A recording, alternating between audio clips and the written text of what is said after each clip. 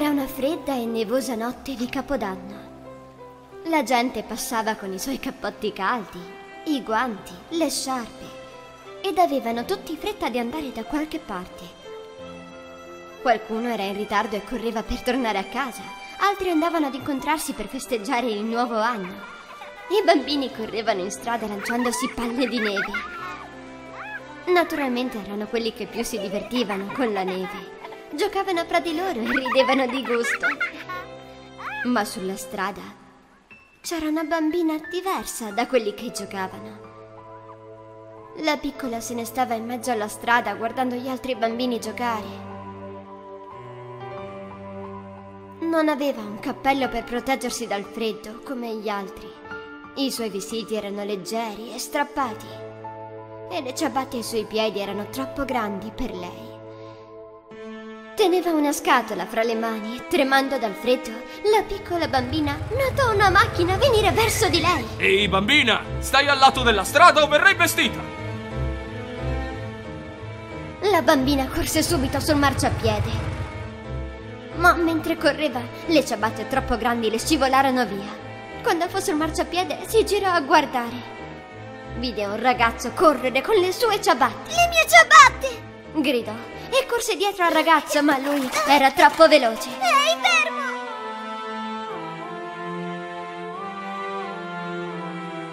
Non avendo altra scelta, camminò scalza e cercò un rifugio vicino al muro. Aprì la scatola che teneva stretta e la mise giù. Guardava la scatola piena di fiammiferi con gli occhi umidi dal freddo. Lei era la piccola fiammiferaia, ma non era riuscita a vendere nemmeno una scatola di fiammiferi quel giorno. Se fosse riuscita a vendere, a guadagnare qualcosa, avrebbe potuto andare a casa ed avere almeno una scodella di zuppa calda con sua madre. Così iniziò a gridare con la sua sottile e tremante voce dal freddo e dalla tristezza. Fiammiferi! Qualcuno vuole dei fiammiferi! Fiammiferi! Ma nessuno per strada le prestò attenzione. Così si sedette vicino al muro. Le sue dita iniziarono a farle male dal freddo. Non riusciva più a sopportare il dolore. In qualche modo doveva riscaldarsi. Aprì la scatola e tirò fuori un fiammifero. Le sue dita erano insensibili e riusciva a malapena a tenere un fiammifero. Con mani tremanti storniò il fiammifero sul muro e improvvisamente una calda luce arancione la circondò.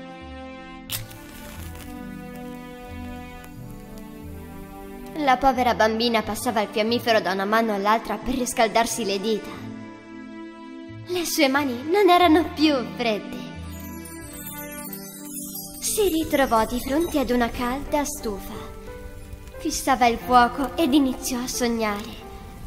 Era seduta di fronte ad una grande stufa in una bellissima stanza. Aveva un maglione di lana addosso, stivali caldi ai piedi e un cappellino sulla testa. Era così caldo che iniziò a sudare.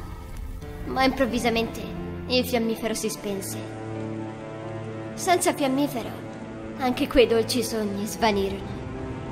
Le sue piccole dita cominciarono a congelarsi di nuovo e a farle male. Così accese un altro fiammifero. In quel momento un vento gelido soffiò. La bambina si girò verso il muro per tenere acceso il fiammifero e coprì la fiamma con le sue mani. Mentre lo guardava, il muro improvvisamente svanì e si aprì. C'era una grande stanza dentro.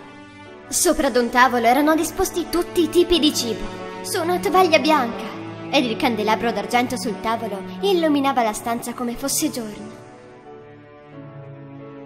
Fissò il tavolo e vide che proprio nel mezzo c'era una bellissima bistecca grigliata.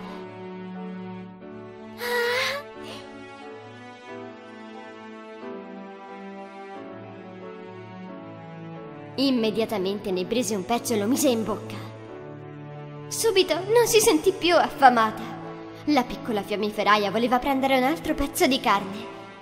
Ci provò, ma il fiammifero che teneva in mano si esaurì molto velocemente. La povera bambina si bruciò e lanciò via il fiammifero.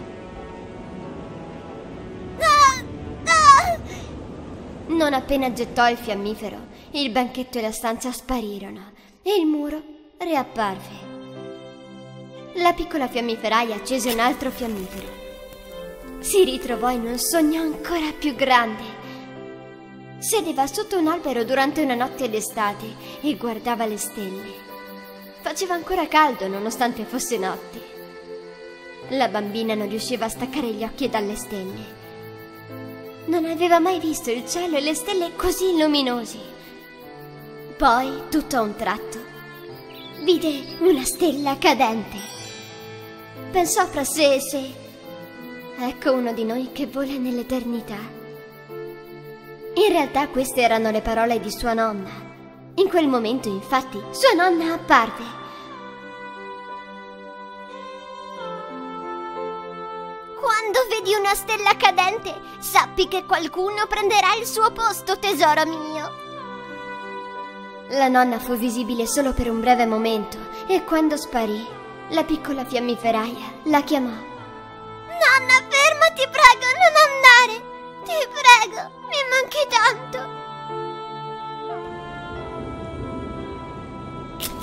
Per poter vedere la nonna ancora una volta, accese un altro fiammifero.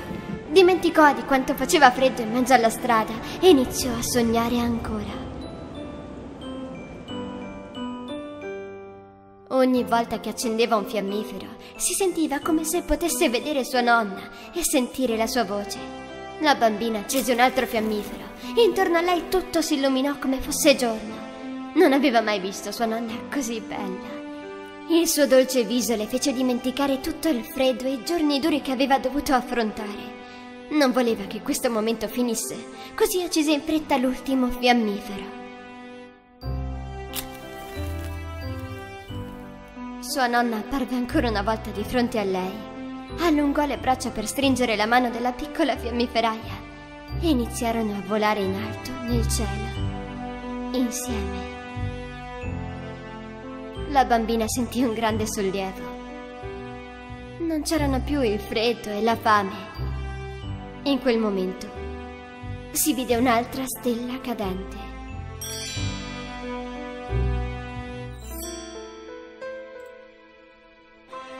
Al mattino, la gente che passava di lì vedeva la piccola fiammiferaia distesa a terra vicino al muro.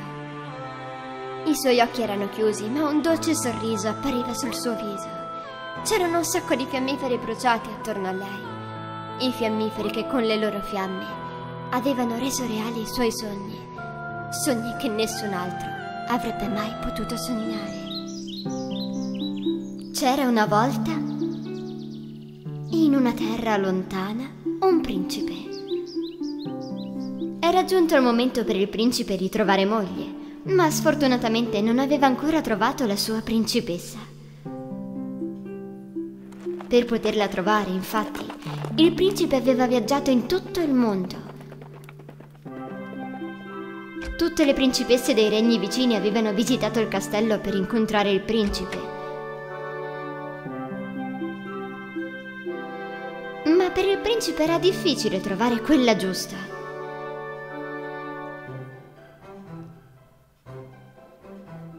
Suo padre, il re, voleva che sposasse una vera principessa. Dopo aver tentato per così tanti anni, aveva quasi perso le speranze. Triste e molto pensieroso, il principe continuava a vivere la sua vita. Il re e la regina invece erano molto preoccupati per la sua situazione. Un'altra triste notte, mentre stava seduto a pensare, cominciò una grande tempesta. Pioveva abbondantemente, c'erano lampi e saette e il suono dei tuoni echeggiava nel castello. Il principe non riusciva a dormire e guardava i fulmini fuori dalla finestra. D'altro canto, non riusciva a fare a meno di pensare alla sua futura principessa. Nonostante il frastuono nel castello, uno dei servitori sentì che stavano bussando alla porta. Aprì la porta e notò una giovane ragazza tremante, tutta zuppa di pioggia.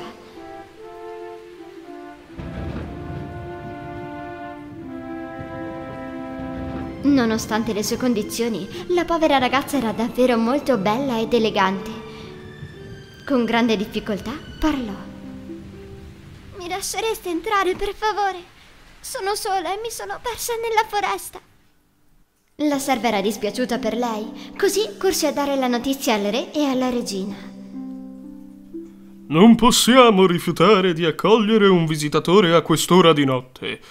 Fatela entrare. Il re informò subito le guardie della situazione e gli diede degli ordini. Le guardie fecero entrare la ragazza nella sala del castello e la fecero sistemare davanti al caminetto. Vedendo i vestiti della ragazza zuppi di acqua, la regina ordinò ai servi di portare dei vestiti appropriati per la ragazza. Quando furono da sole, la regina le chiese: A quest'ora e con questo tempo, mi domando davvero che cosa tu stia cercando. Sono la principessa di una terra lontana. Il mio castello è stato attaccato dai miei nemici. Per proteggermi, mia madre e mio padre mi hanno segretamente mandata via con due soldati. Ma a mezzanotte, a causa della tempesta, ci siamo persi. Ed eccomi qui, ho trovato il vostro castello. Grazie mille per avermi accolta. La regina faceva fatica a crederle, ma allo stesso modo trovava ancora più difficile mandarla via dal castello.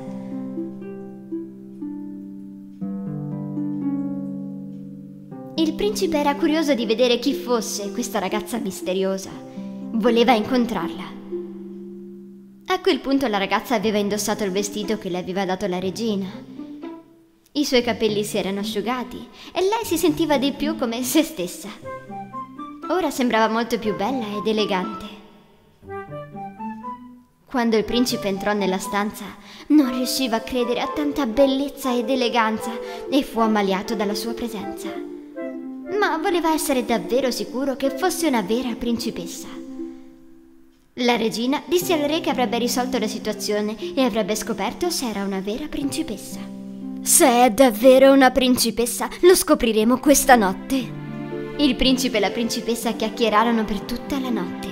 Il principe, che era così affascinato da lei, voleva conoscerla meglio. La regina preparò la stanza degli ospiti per la giovane ragazza e mise un pisello sotto al suo letto, coprendolo con sette materassi.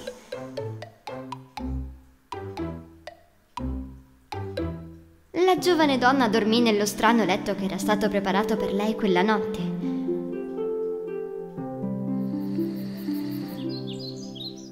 Il giorno dopo, la regina aspettò che la giovane si svegliasse e quando arrivò le chiese Hai dormito bene questa notte? Sono molto felice che mi abbiate dato rifugio, ma a dire il vero ho avuto qualche difficoltà a dormire questa notte. Oh, davvero? E potrei chiederti come mai? Mi fa male il corpo. La mia schiena è a pezzi. È come se tutta la notte avessi dormito su qualcosa come un masso. Questa era esattamente la risposta che la regina si aspettava. Sapeva che solo una principessa avrebbe potuto sentire tale fastidio attraverso un letto con sette materassi.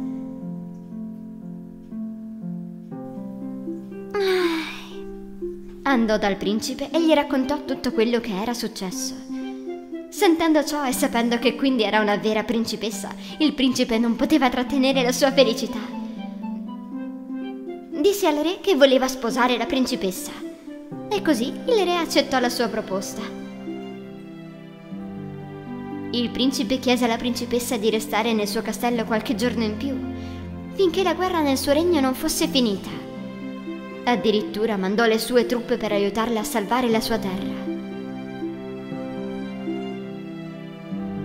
E poco tempo dopo, il principe fece la proposta alla principessa. Principessa, vuoi sposarmi? Non appena lei rispose di sì, vissero per sempre felici e contenti.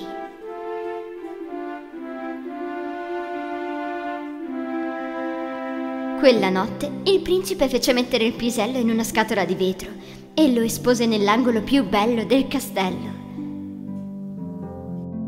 Per molti anni il castello ed il pisello furono visitati da tante persone che credevano nel vero amore. La storia del principe e della principessa fu raccontata per molti e molti anni.